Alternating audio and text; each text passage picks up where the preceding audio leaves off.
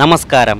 ആനപ്രേമികളുടെ ആഗ്രഹവും പ്രാർത്ഥനയും പോലെ തന്നെ മംഗലാംകുന്ന് അയ്യപ്പനോടൊപ്പം ശശിയേട്ടൻ മംഗലാംകുന്നിലെത്തിയിരിക്കുന്നു.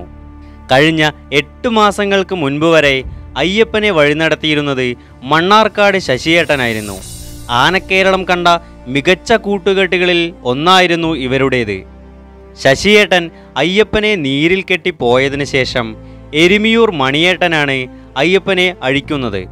നീരുകാലത്തുണ്ടായ ചില ആരോഗ്യ പ്രശ്നങ്ങൾ മൂലം അയ്യപ്പൻ ഇതുവരെയും പരിപാടികളൊന്നും എടുത്തിരുന്നില്ല. മംഗലാംകുന്ന് ഉടമസ്ഥർ ആവശ്യമായ ചികിത്സയും വിശ്രമവും അവന് നൽകി വരുന്നുമുണ്ട്.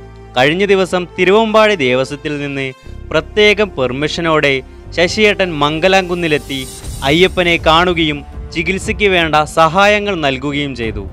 അയ്യപ്പന്റെ കാര്യങ്ങൾ വളരെ ആഴത്തിൽ അറിയാവുന്ന ശശിയേട്ടന്റെയും അവന്റെ ഇപ്പോഴത്തെ ചട്ടക്കാരനായ എരുമിയൂർ മണിയേട്ടന്റെയും സാന്നിധ്യത്തിലുള്ള ചികിത്സ അയ്യപ്പനെ കൂടുതൽ ആരോഗ്യവാനാക്കുവാൻ കഴിയും.